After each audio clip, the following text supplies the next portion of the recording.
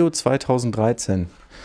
Äh, es wird ähm, wahrscheinlich mehr in Richtung äh, gute Inhalte gehen und zwar äh, nicht einfach äh, das WDF PIDF-Tool zu benutzen oder diese Formel, sondern äh, einfach äh, vom Herzen her die Texte so zu schreiben, dass sie ausführlich und relevant werden. SEO 2013 ist spannend. Ja, Autoren werden nach oben gespült und man weiß nicht genau, was da sozusagen äh, draus erwächst. Ähm, so, sowohl fürs Ranking als auch für die ganze Autorenstruktur ähm, bietet un unglaublich viele spannende Möglichkeiten. SEO 2013 ist für mich noch besserer Content. Wenn ich an SEO 2013 denke, ähm fällt mir On-Page-Optimierung, ähm, WD, äh, äh, Content-Optimierung, ja, solche Themen ein. SEO 2013 ist für mich ganz klar Content Marketing. Nachhaltigkeit, gute Backlinks, guter Content, gute Usability.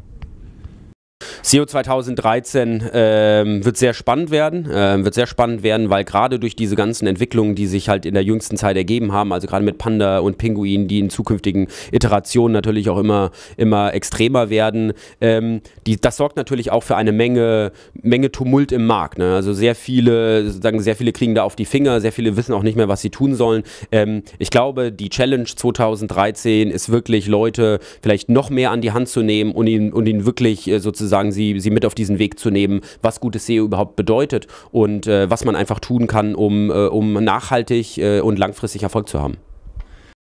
Äh, meine Meinung zu SEO 2013 ist, dass ähm dass viel passieren wird im, im Bereich äh, eine, eine Kombination aus Content Marketing, Social Marketing, ähm, aber auch Link Marketing, das wird alles zusammenschmelzen äh, ein, bisschen an, ein bisschen umdenken im SEO und ein bisschen weiterdenken als bis jetzt und neue Wege gehen, die sich vorher so vielleicht noch keiner getraut hat oder noch keiner dran gedacht hat.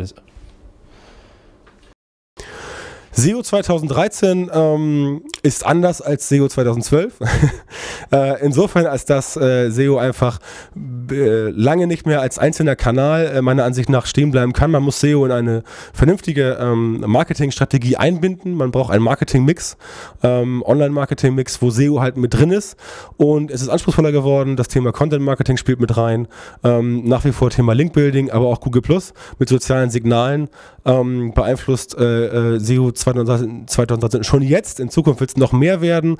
Und insofern ähm, denke ich, dass uns da auch in diesem Jahr, wir haben ja erst äh, Mitte März, da noch einiges erwartet. SEO 2013 ist jetzt schon fast vier Monate alt und ich bin sehr gespannt, was noch passiert. Ähm, SEO 2013, glaube ich, wird äh, super spannend werden, wobei ich nicht genau weiß, wo wir hindriften werden. Ich glaube, es wird sehr viel persönlicher werden, aber auf der anderen Seite auch sehr viel Big Data geben. Ähm, für mich ist SEO 2013 auf jeden Fall immer mehr die Entwicklung Richtung Marketing, ähm, Richtung Content und äh, nachhaltiger zu arbeiten. Äh, die Verknüpfung mit der PR ist ganz, ganz wichtig. Ähm, aber äh, an den Basics wird sich nichts ändern, da brauchen wir uns nichts vorlügen. Wer eine stabile Technik hat, ein geiles Produkt und äh, ordentliche Links, der wird immer ranken.